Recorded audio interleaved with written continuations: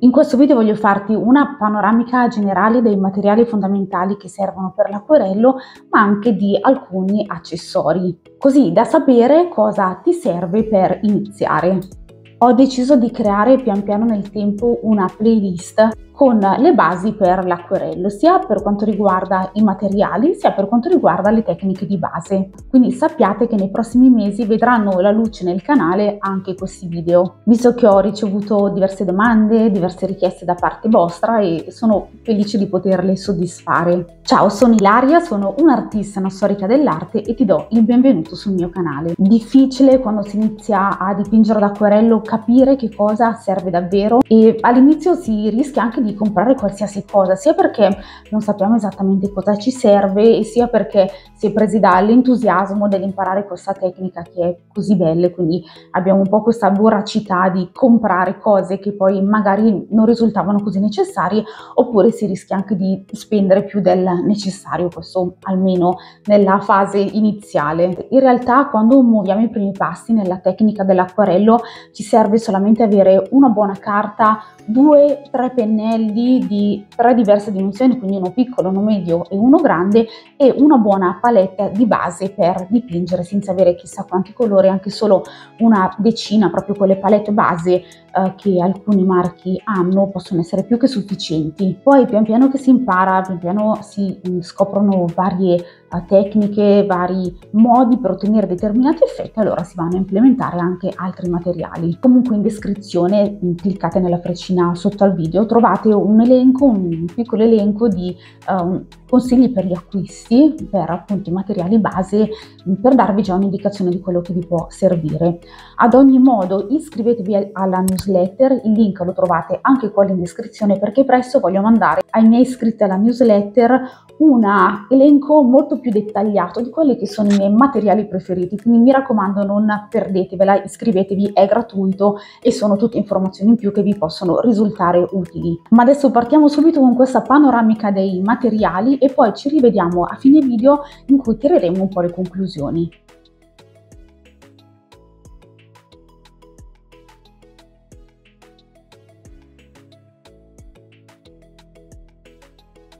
Partiamo dalla descrizione di ciò che vedete su questo tavolo, sembrano tanti materiali e in realtà un po' lo sono, non è necessario averli tutti quando comincerai a dipingere ad acquarello, magari avrai già alcuni di questi materiali in casa. Quando io ho iniziato a, a dipingere ad acquarello mi sono appassionata tantissimo e quindi nel tempo ho iniziato a comprare un po' a caso varie tipologie di materiali che però non ho usato immediatamente, quindi capisco che a volte quando ci si butta in una nuova tecnica si tende a fare degli acquisti e magari non sono tutti necessari. Ma adesso vi descriverò piano piano tutti questi materiali e poi vi dirò anche cosa secondo me è necessario per partire. Diciamo subito che i tre materiali principali per l'acquerello sono i colori che possono essere di due tipologie, quindi in tubetto oppure in godet, Questi in realtà sono dei demi-godé, cosa vuol dire? Che sono delle mezze cialde.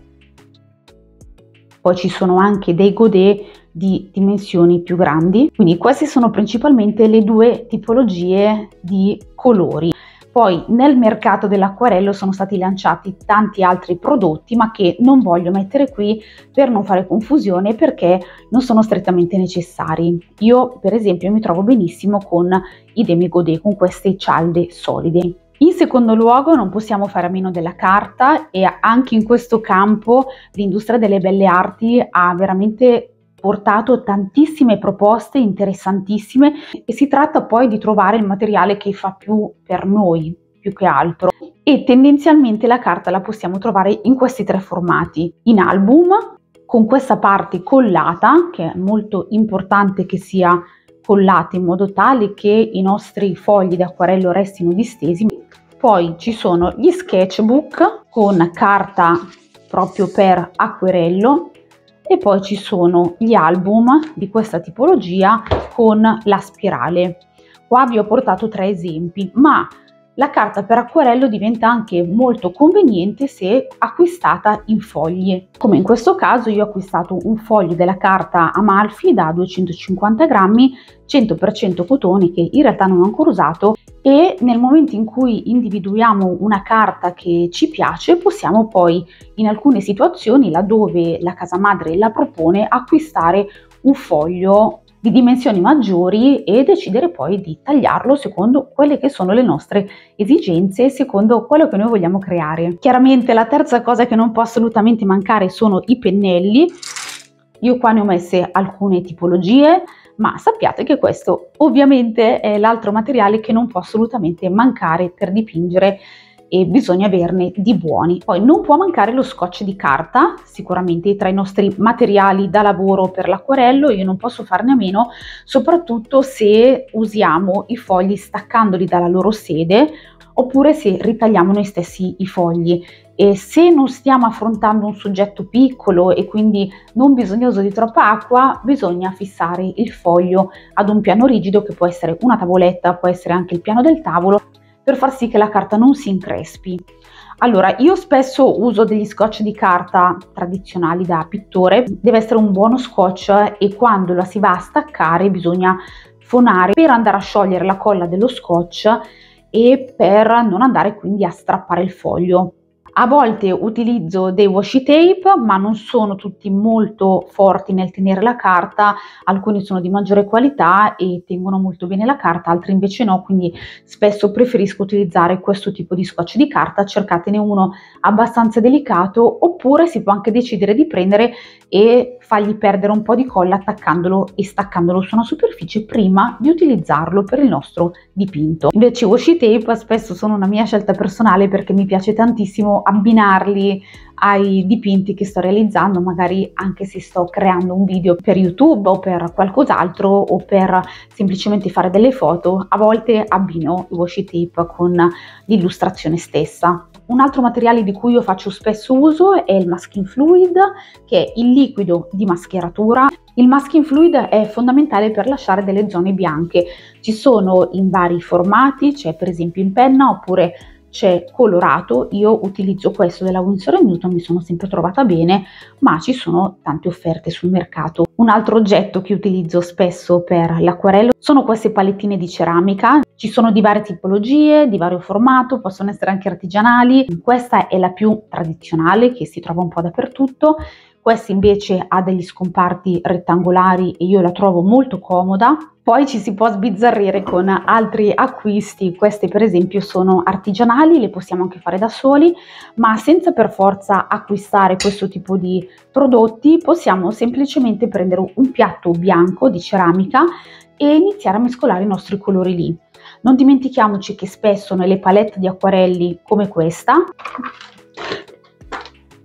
ci sono degli spazi accessori dove è possibile mescolare i nostri colori. Però questa non è la mia prima preferenza perché i colori tendono un po' a mm, scivolare in un, in un, modo strano, in un modo che non mi piace, mentre le mescolanze trovo che vengano molto meglio nelle palette di ceramica, ma comunque se ci troviamo in viaggio o comunque se ci serve ulteriore spazio e abbiamo a disposizione una palette come questa, usiamola assolutamente, ma il mio consiglio resta comunque la ceramica perché una gomma, una gomma oppure una gomma a pane, secondo me sono degli strumenti utilissimi da usare quando dobbiamo rimuovere il masking fluid. Non dimentichiamoci poi due contenitori per l'acqua, questi sono dei semplicissimi contenitori da riciclo, quelli non so per lo yogurt oppure per le conserve. È sempre bene averne due, per quale motivo averne due? Perché una resterà sempre pulita e terremo il nostro pennello pulito e con l'altra invece andremo a sciacquarlo, quindi l'acqua diventerà dei colori che stiamo utilizzando. Inoltre dei panni assorbenti, quindi come mm, la carta Scottex va benissimo e io spesso uso invece dei fazzoletti di cotone, anche questo è molto utile quando stiamo dipingendo ad acquerello, magari per riportare alcune zone in luce andando a rimuovere il colore. Anche questo materiale che ti consiglio di non far mancare sul tuo tavolo da lavoro. Ed eccoci alle conclusioni di questo video. Come avete potuto vedere non ho consigliato nessuna marca specifica, nessun prodotto in particolare. Troverete comunque un piccolo elenco di prodotti consigliati nel link in descrizione e la mia pagina di affiliazione con il negozio online Momarte, quindi date un'occhiata per vedere un po' cosa uso io e iscrivetevi alla newsletter come vi ho detto all'inizio dove manderò questo elenco molto più specifico e dettagliato. Credo che comunque ognuno di noi con il tempo, con l'esperienza, trova i propri materiali preferiti in base al proprio modo di lavorare, quindi c'è chi preferirà una carta più giallina piuttosto che una carta più bianca, chi amerà di più certe tipologie di acquarelli rispetto ad altri, questo dipende molto dal proprio modo di lavorare, ma è qualcosa che si va a scoprire nel tempo, quindi scoprirete sicuramente i vostri marchi preferiti, chiaramente mi rivolgo a chi sta iniziando e per chi invece già lavora da un po' di tempo con la tecnica dell'acquarello mi farebbe piacere sapere quali sono i vostri prodotti preferiti, se volete scrivermelo nei commenti sono molto curiosa. In generale si procede un po' per tentativi ed errori prima di trovare i propri favoriti, però certamente sono sicura che ricevere dei consigli da chi uh, ci è già passato può sempre essere utile. Spero che questo video vi sia piaciuto, che vi sia stato utile, in tal caso lasciatemi un bel like e iscrivetevi al canale per non perdere i successivi video. Io intanto vi lascio qui altri due video, vi mando un bacio e ci vediamo al prossimo video. Ciao!